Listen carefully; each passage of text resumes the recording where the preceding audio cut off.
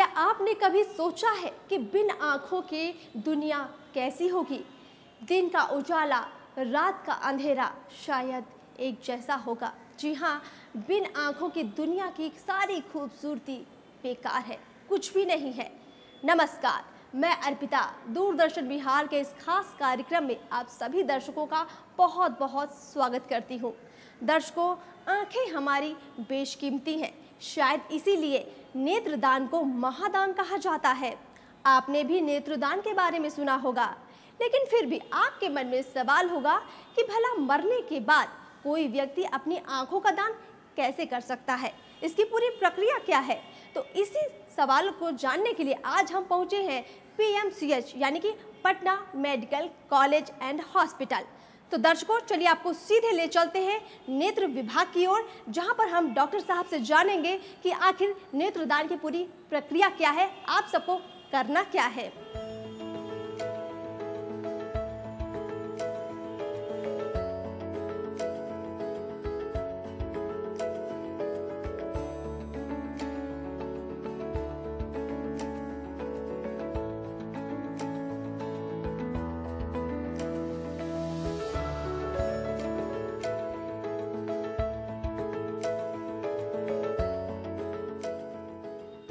हमारे साथ बातचीत के लिए मौजूद है पीएमसीएच के नेत्र विभाग के विभागाध्यक्ष डॉक्टर नागेश्वर शर्मा जी। डॉक्टर साहब, आपका हमारे कार्यक्रम में बहुत बहुत स्वागत है।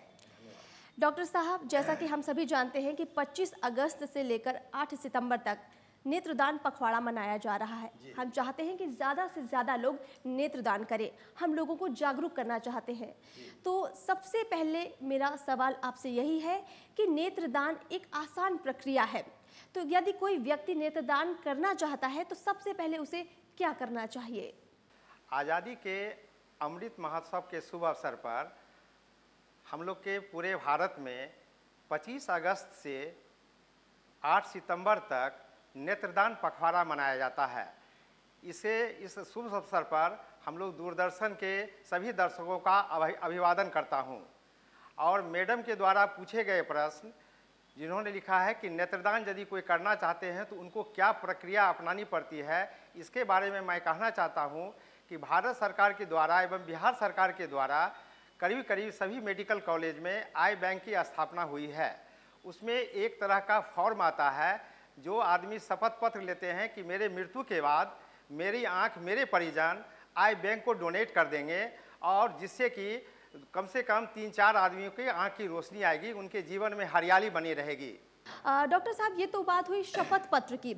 मान लीजिए कि किसी के घर में किसी शख्स की मौत हो जाती है और उसके परिजन चाहते हैं कि हम उसका नेत्रदान कर दें तो उसके लिए फौरी तौर पर परिजन क्या करें?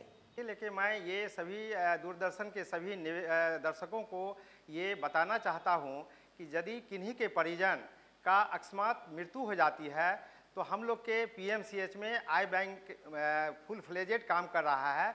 वहाँ का दो नंबर सभी जगह पर दिया गया है। आप नेत्र आई बैंक में फ़ोन कर करके जानकारी ले सकते हैं। और यदि आपके घर में किसी इस तरह की किन्हीं की मौत हो गई है और आपके परिजन चाहते हैं कि उनका नेत्रदान करें तो हम लोग के यहाँ एक टीम चौबीसों घंटा तैयार रहती है, जो आपके घर पर जा कर के कॉर्निया का जो हम लोग नेत्रदान करते हैं, उनका रिट्रीवल कर करके पूरे टीम जाएँगे और वहाँ से रिट्रीवल कर करके मेरे आई बैंक में आकर के जमा कर देंगे। डॉक्टर साहब, मेरा एक और ख़ास सवाल ये है कि मान लीजिए कि उन्होंने कॉल कर दिया और यहाँ से कोई टीम पहुँचती है आँख लेने के लिए। लेकिन कई बार क्या होता है कि परिजन समझ नहीं पाते कि इस दौरान जिस व्यक्ति की मृत्यु हुई है, उसे किस प्रकार रखा जाए, किस तरह से उसकी आँख को सुरक्षित रखा जाए। तो इस बारे में बताइए। इस संदर्भ में मैं दर्शकों से अनुरोध करता हूँ कि मृत्यु के पश्चात नियम है कि एक घंटा से छः घंटा के अंदर तक हम लोग रिट्रीवल आँख का कर लें। तो यदि इस तरह की बात हो तो आई बैंक में आप खबर करें। हम लोग की टीम यहाँ तैयार रहती है, जो आपके दिए गए पता पर पहुँचेगी। तब तक आपको ये व्यवस्था करना है कि मरे हुए आदमी का आँख आप बंद कर दें और कोशिश करें कि वहाँ पंखा वगैरह नहीं चले। एसी आप चलवा सकते हैं। जिससे उसका आँख जो है, वो सूखे नहीं। इसलिए सबसे प्रायोरिटी है कि उसके आँख को आप लोग ढक दिया करें, उनके पलक को बंद कर दिया करें और तब तक मेरी टीम पहुँच जाएगी, वो अपना आगे की प्रक्रिया करेगी। बहुत छोटी सी प्रक्रिया है आँख रिट्रीवल का। वो लोग हमारी टीम में एक्सपर्ट डॉक्टर रहते हैं काउंसलर रहते हैं, वो लोग सब जा करके इसमें आपकी मदद करेंगे और रिट्रीवल करने के बाद एक कैप लगा दिया जाता है जिससे पता नहीं चलता है कि उसका आँख निकाला गया है कि नहीं और उसके बाद उनकी अंतिम संस्कार वगैरह की प्रक्रिया प्रारंभ कर सकते तो बिल्कुल डॉक्टर साहब जैसा कि आपने बताया है कि छः घंटे के भीतर ही नेत्रदान करना है इसलिए वो जो छः घंटे होते हैं उस दौरान जो है जो मृत व्यक्ति है उसकी आँख को सुरक्षित परिवार वाले रखे तभी नेत्रदान हो सकता है। ठीक है डॉक्टर साहब अगला सवाल लेती हूँ। मेरा अगला सवाल ये है कि वैसे तो हर कोई सामान्य व्यक्ति नेत्रदान कर सकता है लेकिन कई बीमारियाँ ऐसी होती हैं जिसमें कहा जाता है कि नेत्रदान करना सही नहीं माना जाता है। तो ऐसी कौन कौन सी बीमारियाँ हैं जिनसे यदि कोई ग्रसित है तो वो नेत्रदान नहीं कर सकता है? जैसा कि मैडम अर्पिता ने क्वेश्चन पूछा है कि कौन कौन ऐसे व्यक्ति हैं जो नेत्रदान कर सकते हैं? इसमें ये देखना है कि हम लोग ये जानते हैं कि करीब करीब हमारे मरने के बाद सभी भाई बहन जो भी हैं नेत्रदान कर सकते हैं। लेकिन एक दो बीमारी है जिसका हम लोग वहाँ टेस्ट करते हैं मरने के बाद जो एचआईवी से रिलेटेड है, कैंसर से रिलेटेड है। यदि एचआईवी पेशेंट हो या कैंसर से ग्रसित पेशेंट हो तो हम लोग नेत्रदान एवॉइड करते हैं। लेकिन आजकल ये बताया गया है कि रिसेंट जो मेरा लिटरेचर आया है, उसमें बताया गया है कि यदि एचआईवी से ग्रसित कोई पेशेंट है तो हम उनके आँख को एचआईवी वाले पेशेंट में हम लोग प्रत्यारोपण कर सकते हैं। ये एक बहुत बड़ी बात है, जैसा पहले हम लोग नहीं करते थे, लेकिन नॉर्मल आदमी में हम लोग नहीं करेंगे, लेकिन यदि एचआईवी का पेशेंट वह पहले से नोन है तो हम लोग कोशिश करेंगे कि यदि उसका आँख हम लोग निकालें तो एचआईवी पेशेंट को ही लगाएँ। और वैसे जनरली हम लोग जो आँख निकालते हैं, वो किसी भी आदमी को हम लोग लगा सकते हैं यदि उसमें कोई खास इस तरह की डिज़ीज़ नहीं हो। डॉक्टर साहब अक्सर हम सुनते हैं कि यदि किसी व्यक्ति को चश्मा लगा हुआ है तो लोग कहते हैं कि तुम्हारी आँखें स्वस्थ नहीं है तुम नेत्रदान नहीं कर सकते। तो ये भ्रांति जो फैली हुई है इसको मिटाइए और लोगों को बताइए कि किस तरीके से वो स्वस्थ है उनकी आँखें स्वस्थ हैं और वो नेत्रदान कर सकते हैं। वैसे आदमी जो चश्मा के हैं उसको नेत्रदान करने में कोई परेशानी नहीं होती है। परेशानी केवल एक ही चीज़ की है, जो हमने पहले कहा है कि बीमारी एचआईवी नहीं हो, कैंसर नहीं हो। नहीं तो हम लोग मानते हैं कि या तो चश्मा पहने या किसी तरह का कोई ऑपरेशन करके लेंस लगाया हुआ है। केवल हम लोग यही देखते हैं कि आँख का एक बाहरी परत है, जिसको हम लोग कॉर्निया कहते हैं। वह एक्चुअली ट्रांसपेरेंट होता है। मतलब इस पार से उस पार देखने की व्यवस्था रहती है उसमें तो वह मेरा हेल्दी रहे। यदि किसी भी पेशेंट का, किसी भी मृत आदमी का, यदि कॉर्निया हेल्दी रहे तो उसको हम लोग नेत्रदान करने के लिए अग्रसारित कर सकते हैं कि वह नेत्रदान कर सकता है उसकी आँख खराब नहीं मानी जाती है भले वह चश्मा ही क्यों नहीं पहने। डॉक्टर साहब किस आयु से किस आयु तक के लोगों की मृत्यु के बाद उनकी जो नेत्र है उनको दान किया जा सकता है? इस बारे में थोड़ा बताइए आप। जहाँ तक एज का सवाल है कोई भी आदमी किसी एज का मरणोपरांत आँख दान कर सकते हैं क्योंकि हम लोग का जो आँख दान की प्रक्रिया है, इसमें बहुत भ्रांतियाँ हैं। बहुत आदमी कहते हैं, नेत्रदान मतलब पूरे नेत्र का दान। जबकि ऐसा नहीं होता है। नेत्रदान का हम लोग, जो आँख में आप लोग सामने में पुतली देखते हैं, उसी पोर्शन का हम लोग क्या कहते हैं, जिसको हम लोग कॉर्निया कहते हैं, उसी को हम लोग ट्रांसप्लांट करते हैं, जिसका दो तीन नाम है। उसको या तो हम लोग किराटोप्लास्टी करते हैं, कॉर्नियल ग्राफ्ट करते हैं, या कॉर्नियल ट्रांसप्लांट के नाम से जानते हैं। इसमें एज का कोई लिमिटेशन नहीं है। कोई भी व्यक्ति मरने के उपरांत, चाहे किसी भी एज का हो, अपने आँख नेत्रदान कर सकते हैं। बिल्कुल तो बार बार हम आपसे कह रहे हैं कि नेत्रदान महादान है, घबराइए मत, ये बिल्कुल ही आसान प्रक्रिया है। तो डॉक्टर साहब, मैं आपसे ये जानना चाहूँगी कि यदि कोई व्यक्ति जो है नेत्रदान करना चाहता है और नेत्र, नेत्रदान कर देता है तो उसके बाद उसके नेत्र से कितने लोगों की ज़िंदगी में रोशनी आती है? ये आप जानते हैं कि मैडम ने बहुत अच्छा क्वेश्चन पूछा है कि नेत्रदान के पश्चात कितने आदमी उससे बेनिफिट उठा सकते हैं। तो एक्चुअली हम लोग मरणोपरांत दोनों आँख दान दान करवाते हैं। तो ये तो सीधी सी बात हुई कि दो आदमी तो ज़रूर कम से कम बेनिफिटेड हो सकते हैं, लेकिन कभी कभी ऐसा होता है कि जो हम लोग क्राटोप्लास्टी करते हैं, उसमें चार पाँच लेयर होते हैं। कभी कभी ऐसा होता है कि किसी आदमी का एक आध लेयर ही खराब हो तो हम लोग मैक्सिमम चार पाँच आदमी तक का बेनिफिट कर सकते हैं। चार पाँच आदमी के, अंधे आदमी के जीवन में हम लोग उजाला ला सकते हैं। जो एक बहुत ही बड़ी चीज़ है और आदमी को इसमें एक अवेयरनेस होना चाहिए, जागरूकता होना चाहिए सभी आदमी में कि हम लोग नेत्रदान करें और कम से कम चार परिवारों जो अंधे में जी रहे हैं, उनको हम लोग दुनिया दिखाने का काम करें, उनके जीवन में प्रकाश लावें। बिल्कुल तो आप यदि नेत्रदान करते हैं तो किसी की ज़िंदगी खुशहाल कर सकते हैं, किसी परिवार को आप खुशियाँ दे सकते हैं। डॉक्टर साहब बहुत सारे ऐसे वर्ग के लोग हैं जो शायद डरते हैं खर्च करने से या जिनकी आर्थिक स्थिति शायद उतनी ठीक नहीं है। तो ऐसे लोगों को बताइए कि नेत्रदान कितना निशुल्क है और यदि वो इसे करते हैं तो इससे उनके जीवन में क्या कुछ सकारात्मकता आती है? भारत सरकार या बिहार सरकार के द्वारा जो भी नेत्र बैंक संचालित है, वह फ्री ऑफ़ कॉस्ट है। मुफ़्त में मुफ़्त में सब चीज़ का वहाँ इलाज भी होता है और उसमें जो भी प्रत्यारोपण की प्रक्रिया या रिट्रोवल की प्रक्रिया है, सभी बिल्कुल मुफ़्त है। इसमें किसी भी आदमी को, दो आदमी होते हैं, एक होते हैं डोनर, जो आँख अपना दान करते हैं, एक आदमी होते हैं रिसिपिएंट, जिनको हम लोग किराटोप्लास्टिक करते हैं, जिनमें आँख की प्रत्यारोपण प्रत्यारोपण होता है। किसी भी व्यक्ति को कोई भी शुल्क हम लोग के सरकारी अस्पताल में नहीं देना पड़ता है, ये पुल, बिल्कुल मुफ़्त है। इसलिए करके आदमी को इसमें जागरूक होकर आगे आना चाहिए और अपने परिवार वाले को काउंसिल करना चाहिए कि आप नेत्रदान करें।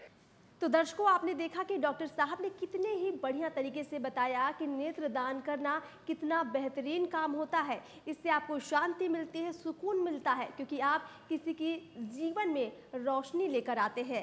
डॉक्टर साहब, हमने नेत्रदान के बारे में बहुत ही बढ़िया तरीके से चर्चा कर ली और उम्मीद करते हैं कि इससे हमारे दर्शकों को बहुत सारी जानकारियाँ मिल चुकी होंगी।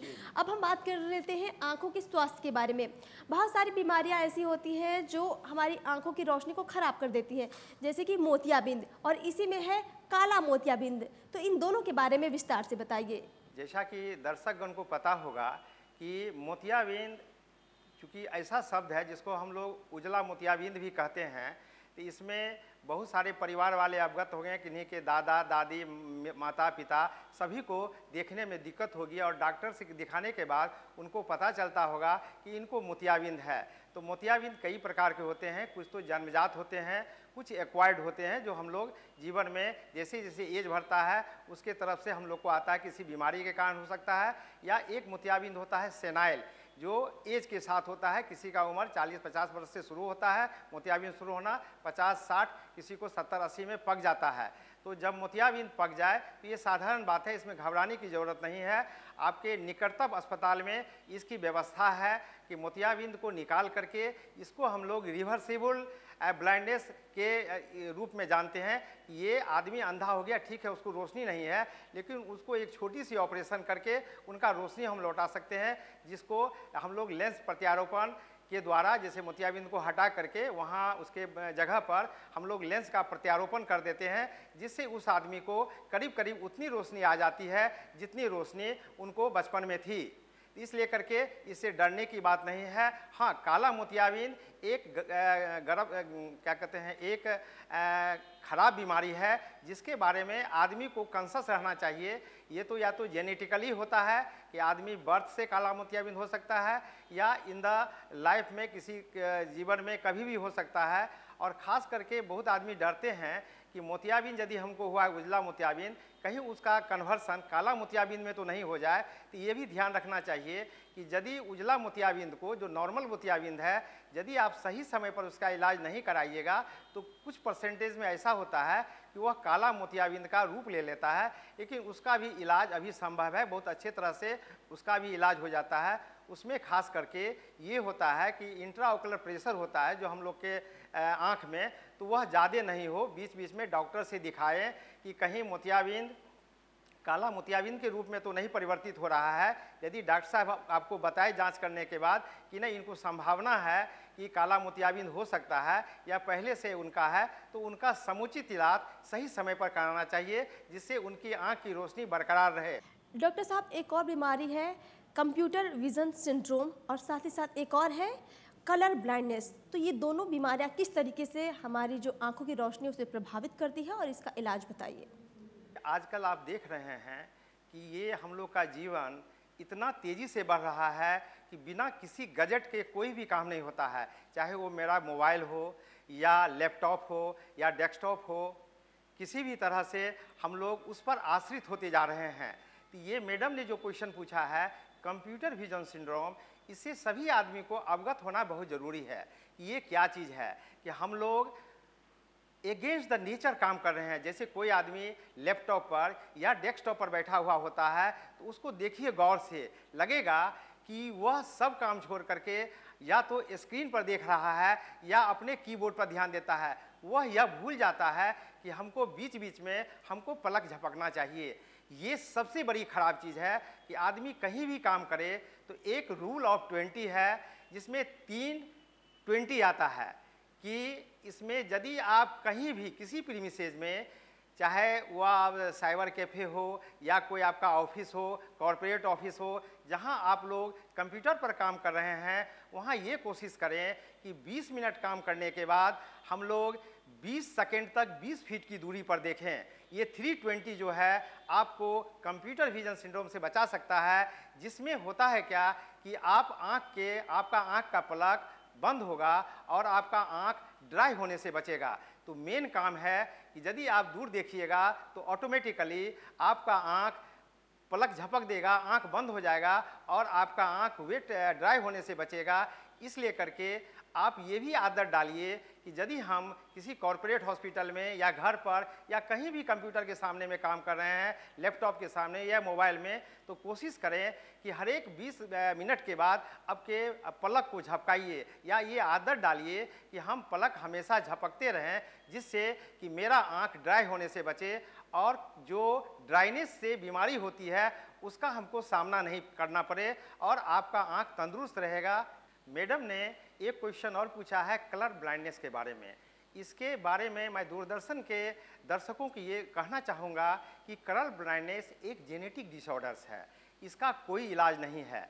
यदि कोई कलर ब्लाइंड हो तो हो सकता है कि उसका सिवलिंग्स उसके फैमिली मेंबर्स और भी कलर ब्लाइंड हो तो उनका विधिवत आप लोग जाँच डॉक्टर आँख के डॉक्टर से कराइए और कोशिश कीजिए कि वह व्यक्ति उस नौकरी में नहीं जाए जहाँ कलर विजन की आवश्यकता है। नहीं तो ये होगा कि उनके जान पर खतरा बने रहेगी और जहाँ वो नौकरी करते हैं, वहाँ भी कुछ उनको दिक्कत का सामना करना पड़ सकता है। इसलिए कलर विजन से ग्रसित व्यक्ति अपने जॉब के बारे में हमेशा सोचे कि जहाँ जैसे हम लोग का सेना का तीनों विंग है, उसमें यूजली वाइट किया जाता है कि हमारे कलर ब्लाइंड पर्सन उसमें नहीं जाए। पुलिस डिपार्टमेंट के आदमी उनमें वैकेंसी में रहता है। इसलिए कलर ब्लाइंडनेस के व्यक्ति जो हैं, वह अपना जाँच कराएँ रूटीनली और यदि पता चले तो कोशिश करें कि हमको ऐसा जॉब चुनना है, जिसमें कलर की कोई बात नहीं हो।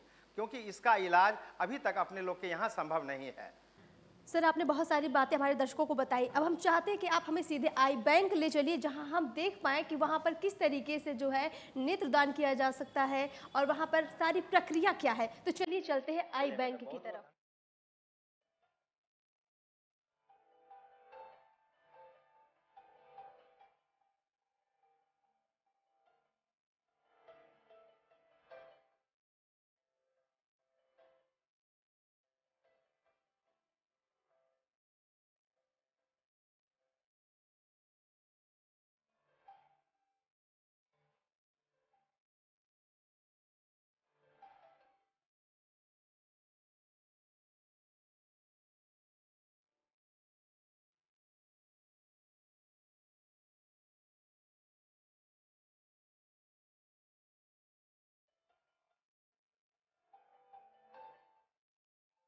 तो दर्शकों, इस वक्त हम हैं पीएमसीएच के आई बैंक में। देखिए, हमारे पीछे पूरा आई बैंक है। यहीं पर जो आप नेत्र दान करते हैं, उनको सुरक्षित रखा जाता है। तो डॉक्टर साहब हमारे साथ हैं, उनसे जानते हैं कि किस तरीके से जो आप नेत्र दान करते हैं, उनको सुरक्षित रखते हैं। तो डॉक्टर साहब, हमें बताइए कि हमारी जो ये कीमती आँखें हैं, उनको आप कैसे संजो कर रखते हैं यहाँ पर? नेत्रदान की प्रक्रिया को जैसा कि हम बता चुके हैं रिटीवल कहते हैं, ये तो या तो हम लोग हॉस्पिटल में करते हैं उसका, जब पेशेंट की मृत्यु हो जाती है, या हम लोग किसी के घर पर जब फ़ोन पर आता है कि हमको आँख डोनेट करना है तो हम लोग उनके घर पर अपने टीम को भेज देते हैं वहाँ से वो आँख रिट्रीवल करके ये eye bank, Patna medical college का नेत्र विभाग का आई बैंक है। यहाँ हम लोग आते हैं और जैसा आप लोग देख रहे हैं, यहाँ ढेर सारा मशीन रखी हुई है, यहाँ फ्रिज रखा हुआ है। तो हम लोग आय को निकाल करके एक फ्लूड होता है जिसको हम लोग कॉर्निसोल कहते हैं। उसमें हम लोग उसको रख देते हैं और यहाँ इसका इवेल्यूशन किया जाता है कि उस आँख की विटिलिटी कितनी अच्छी है, किस आदमी को हम लोग लगा सकते हैं, ये हम लोग को ध्यान में रखा जाता है। और हम लोग का ये प्रिंसिपल है कि यदि आँख डोनेट होकर यहाँ आता है रिट्रीवल होकर आता है तो हम लोग कोशिश करते हैं कि इसकी आँख को जल्दी से जल्दी किसी में कॉर्नियल ट्रांसप्लांट कर दें या किसी को आँख में कॉर्नियल ग्राफ्टिंग कर दें। इसमें हम लोग मैक्सिमम चौदह दिन तक यहाँ हम लोग स्टोर करके रख सकते हैं लेकिन यही हम लोग हमेशा अपेक्षा करते हैं कि जितनी जल्दी हो सके चौदह दिन के अंदर में आँख का प्रत्यारोपण सही आदमी को लग जाए। बिल्कुल तो डॉक्टर साहब जो। लोग चाहते हैं कि उनकी आँखें लग जाए उनकी आँखों में रोशनी आ जाए तो नेत्रदान तो एक अलग चीज़ हो गई लेकिन जो लोग नेत्र अपने ठीक करवाना चाहते हैं नेत्र लगवाना चाहते हैं वो लोग भी यहीं से जो है आकर आँखें लगवा सकते हैं। जी मैडम तो उसको हम लोग जो प्रोसेस है जिसको हम लोग रिसिपियंट बोलते हैं उसको हम लोग यहाँ ऑपरेशन करके जो छोटी सी ऑपरेशन है कुछ समय लगता है पेनलेस है इसमें किसी भी तरह की उनको दिक्कत नहीं होती है। उनको हम लोग आँख में प्रत्यारोपण करने के बाद हम लोग फॉलोअप करते हैं। हो सकता है कि यदि कोई काम काजू आदमी हो तो उनको चार पाँच दिन एक सप्ताह रेस्ट में रहना पड़े और वो हम लोग को विधिवत कुछ कुछ दिन पर अपना फॉलोअप करवाने के लिए आते हैं। हम लोग उसका मशीन में जाँच करते हैं कुछ दवाई चलता है और उसको हम लोग के हिसाब से उसको रोशनी अच्छी आ जाती है फिर वो अपना दैनिक कार्यक्रम में जुट जाते हैं। बिल्कुल दर्शकों आपने देखा कि किस तरीके से यहाँ पर आँखों को सजो के रखा जाता है सुरक्षित रखा जाता है। तो ये पीएम सीएच का जो है आई बैंक है और आप नेत्रदान कीजिए ताकि यहाँ पर ज़्यादा से ज़्यादा जो है नेत्र पहुँचे और ज़्यादा से ज़्यादा लोगों को यहाँ से जो है नेत्र प्रत्यारोपित किया जाए। तो डॉक्टर साहब चलते चलते हमारे दर्शकों को बताइए कि क्यों वो नेत्रदान करें और ये कितनी आसान प्रक्रिया है, इससे घबराएँ नहीं। इसके बारे में हमारे दर्शकों को बताइए। ये भारतवर्ष में बहुत वर्षों से 25 अगस्त से 8 सितंबर तक नेत्रदान पखवाड़ा मनाया जाता है। ये जागरूकता का पखवाड़ा है। हम लोग को, सभी दर्शकों को अवेयर करना है कि ये पुण्य काम है। यदि आप नेत्रदान करते हैं तो आपकी आत्मा को संतुष्टि मिलती है। इसमें किसी तरह का खर्च नहीं आता है और आप एक नेत्रदान करने से आप चार आदमी के जीवन में उजाला भर देते हैं। ये कितना संतोष देता है आपको, ये समझने की बात है। और इसे दूर दूर तक पेरी फेरी परी तक आदमी को पहुंचाना है कि नेत्रदान करें। इसलिए कहावत है जीते जीते रक्तदान, मरने के बाद नेत्रदान, ये महादान है। इसको कभी नहीं भूलें और अपने परिजनों को, अपने आस पड़ोसियों को, अपने सभी जनों को ये बताएँ कि नेत्रदान इतना बड़ा पुण्य का काम है कि इसमें सबको आगे बढ़ चढ़ कर भाग लेना है और इस मिशन को, भारत सरकार का यह मिशन, बिहार सरकार के मिशन को सफल बनाना है और आदमी के जीवन में उजाला भरना है। यही मेरा आपसे निवेदन है। डॉक्टर साहब, आपका बहुत बहुत शुक्रिया। आपने हमारे दर्शकों तक बहुत ही महत्वपूर्ण जानकारियाँ पहुँचाई। उम्मीद करते हैं कि उनको इससे ज़रूर लाभ पहुँचेगा। ठीक है बहुत बहुत मैडम बहुत बहुत धन्यवाद आपको। दर्शक दीर्घा को भी मेरा अभिवादन। दर्शकों अब वक्त हो चुका है आपसे विदा लेने का लेकिन जाते जाते मैं इतना ज़रूर कहूँगी कि जिन आँखों से आप इस दुनिया की खूबसूरती देखते हैं उन आँखों को किसी और को भी दीजिए। अपनी मौत के बाद उनका दान कीजिए ताकि वो भी अपनी ज़िंदगी को खुशहाली पूर्वक जी सके। फ़िलहाल मुझे दीजिए इजाज़त और हाँ दूरदर्शन बिहार के साथ अपना प्यार ज़रूर बनाए रखिए। नमस्कार।